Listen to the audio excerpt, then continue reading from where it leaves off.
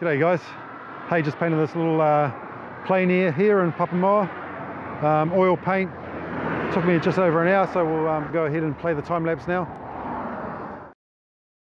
Okay guys, yeah, I'm back in the studio here and just going to watch this time lapse play out with you guys and explain a few things as I go. So just starting off my sky there, always working from distance into the foreground. So logically I start with the sky and um, I've got the subtitles coming up so you can see the colors that I'm using. But yeah, that sky is just a beautiful sort of um, baby blue sky. So it's phthalo blue, um, titanium white with a touch of ultramarine. And um, yeah, if I wanted to make that sky a little bit more grey, I'd add a touch of orange to it. But as it was, when I was painting the painting, it was just a beautiful blue sky. Now you see me putting those clouds on, putting them on with the hog bristled fan brush, number two, and coming back with that badger brush and blending them out. And um, a little bit of grey there, um, added some orange to that um, blue sky mix to get that little bit of grey. But anyway, yeah, just um, blending out those clouds with that hog bristle fan brush. But anyway, I'm standing, sitting here beside the actual painting. So now I can go in and actually show you what they look like up close. Steady that camera. But I think um, if you can see that one, the top of those clouds are nicely feathered out and that's why I'm lifting that badger brush up and preserving that top edge. So they're only little clouds, but it gives you, hopefully it gives you some idea of how I do them. So yeah, just finishing off those clouds there, the hog bristle brush and the badger brush, and hopefully that makes a little bit more sense now, now that you've seen that up close. And here I go, moving forward, moving onto the hill. It's just a pastoral hill, just farmland really, not a lot of bush on it. Um, and I'm just mosaicing in the darks and the lights. The darks are ultramarine blue, burnt umber and titanium white, making a sort of a really dark blue. And the greens, the greens are ultramarine blue, cadmium yellow pale and a touch of cadmium orange in this case. And what I actually done was I actually added some white. So if you want to lighten your green, you've got your, you make your green over your ultramarine blue and your cadmium yellow pale, right? And you can lighten that either by adding white or yellow. But if you use white, it'll send your green opaque. And in this case, I was after the opaque look, so that worked really well. Um, Anyway, working forward onto the foreground there, just really blocking things in with those colours. And now back on the hill in the distance and starting to work those intermediate tones.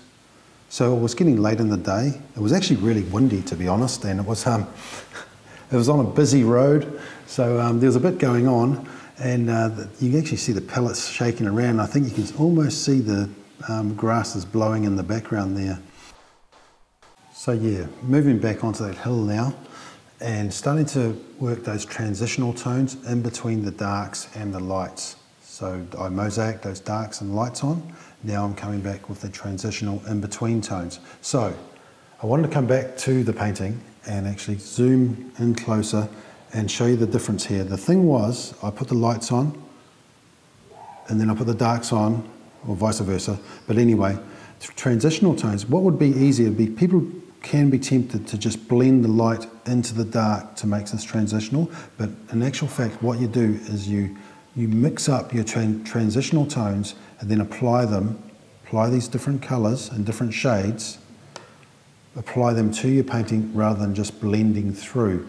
And you know, then you get like this little bits of magic that the paintbrush creates. Well, hopefully there's some magic. Maybe there's not much magic in this one, but yeah, that's how you do it. You don't just blend it through. Well, I don't blend it through anyway, so that's what works for me. So now you see me carrying on putting those transitional tones in and starting on these trees. Now, um, when the wind's blowing your panel around, it's shaking in the wind and you're trying to put wet paint on top of wet paint, like trees up on the horizon there. That's, um, that's pretty tricky. You know, you wonder why you're trying to do that at the time. But anyway, now I go and put my trees on, I use a short filbert brush, but I'm going to come back and make another video of me painting the bush once we get out of this COVID lockdown. I better get out into regional travel and make a, another video in the bush. Um, that'll be cool. Because to be honest, I really do like painting bush and trees. Well, we call it bush in New Zealand, but I suppose it's called forest overseas. So forest and trees, that's what I really enjoy painting. Um, now working my way into the foreground. Um, using this fan brush again, the same one I put the clouds on with, a hog bristle number two fan brush and creating those grasses in front. Um, so the colour that I initially blocked in was going to be the darkest colour, basically the darkest colour, so that creates the shadows. And now I come in and create the highlights of the grasses with this hog bristle brush. And it's really random, um, and it just came together quite fast and yeah like I say it was windy and, and pretty horrible so yeah. Just um, I'm pleased it went as well as it did towards the end. And a little bit of titivating there cruising around finishing off here and there.